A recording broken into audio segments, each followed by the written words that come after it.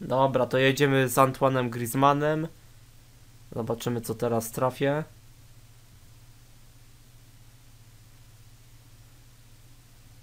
Okej, co my tu mamy? Hiszpania, SP, Arsenal, Cazorla.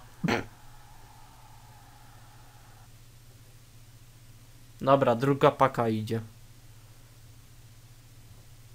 Może tu coś walnie mocniejszego. Aha, też błyszcząca karta. LO. Lukaku! Ale tak, z Lazio Rzym, złota karta. 89 tempa, 81 fizyczności. Paczka wypożyczenia z drużyny tygodnia. No, może Messi taki od razu. Nie, nie będzie Messiego.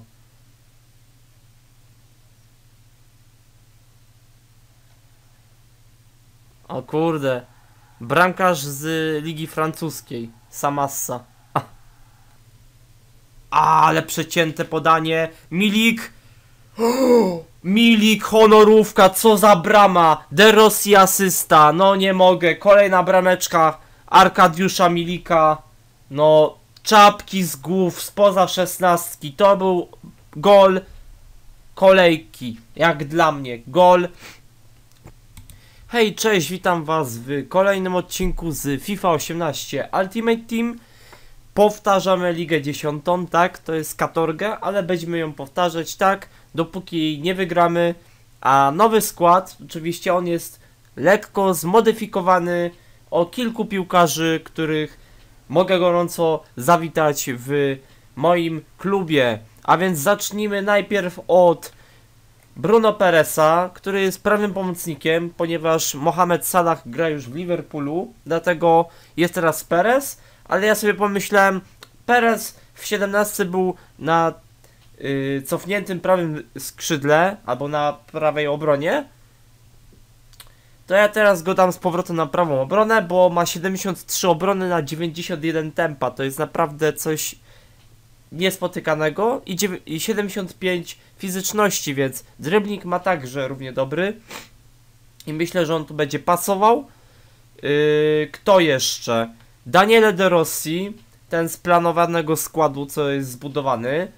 No, średnia w ataku i wysoka w obronie, tak jak dla niego to jest znakomite. 34 lata, czyli to go mianuje bodajże nowym.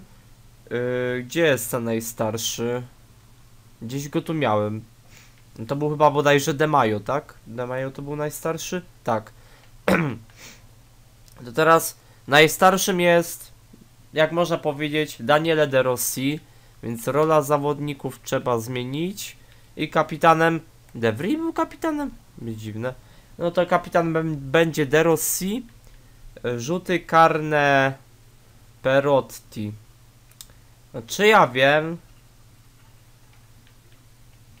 Krótki rzut wolny to niech będzie Perotti.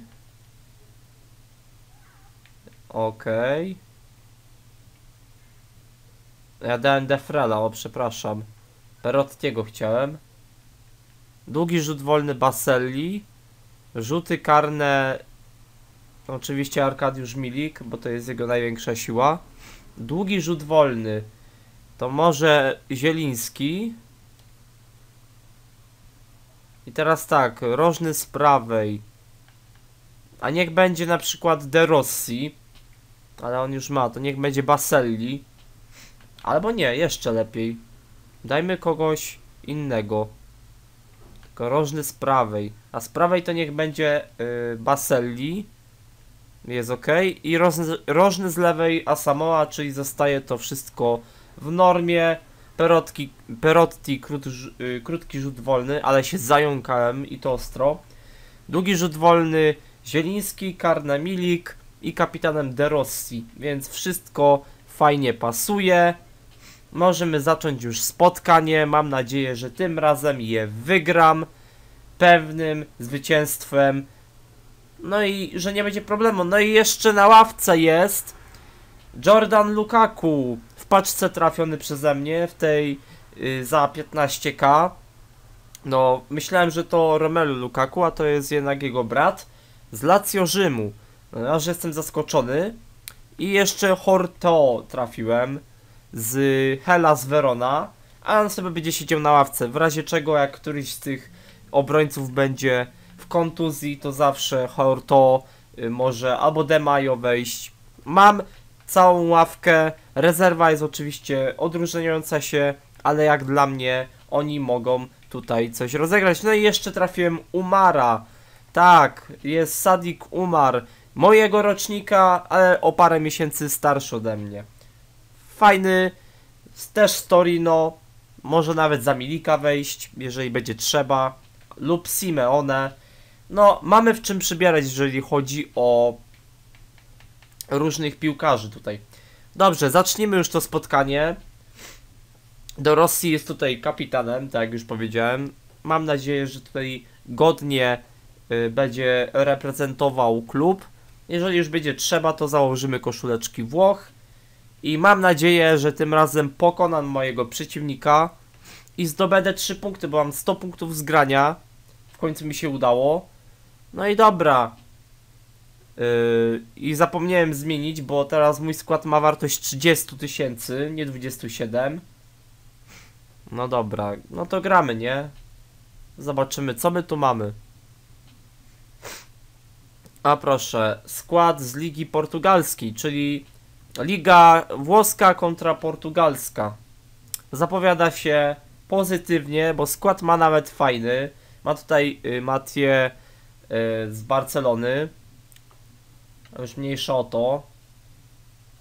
Dobra, przewijamy. Oczywiście tryb defensywny i musimy się po prostu bronić. Może być to jeden punkt, może to być po prostu trzy punkty, byle nie już nie przegrywać, bo naprawdę.